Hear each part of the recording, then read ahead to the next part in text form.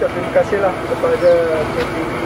HEP uh, oleh kerana kita sedia maklumlah bahawa dalam keadaan uh, MCO dan juga COVID-19 ini uh, telah mengakibatkan banyak uh, harga-harga keperluan asas ini uh, melambung tinggi. Jadi kerajaan telah membuat satu keputusan uh, menganjurkan uh, jualan ya, jualan keluarga Malaysia uh, di parlimen-parlimen di Malaysia ni.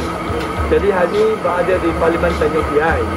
Uh, saya nak maklumkan kepada semua penduduk terutama di Parlimen Tanjung Piai bahawa sabulah hari ini sebab kita tahu harga barangan keperluan asas kita melambung tinggi dan kita menganjurkan uh, barangan ini contoh hari kita nampak ayam ada, ikan ada, semua keperluan ada dan perbandingan harga semasa ni dia akan uh, kurang lebih kurang 15 hingga 20%. Jadi saya harap uh, dengan jualan sedemikian boleh membantu kepada uh, keluarga kita di Parlimen Tanjung Piai dengan uh, kurangkan beban kepada tuan-tuan dan puan-puan.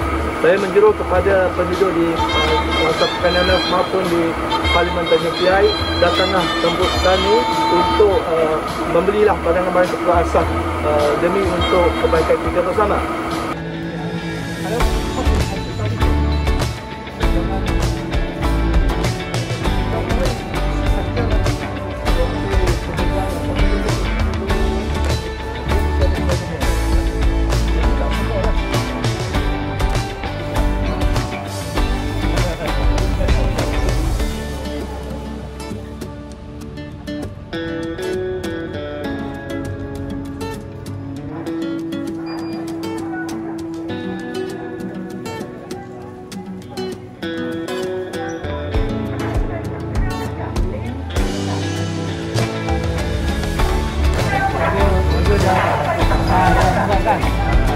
Saya ni uh, sampai besok satu hari lagi.